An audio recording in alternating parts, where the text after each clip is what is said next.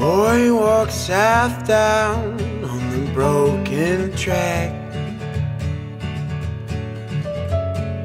Father said, My son, come on back. So much trouble I must leave behind.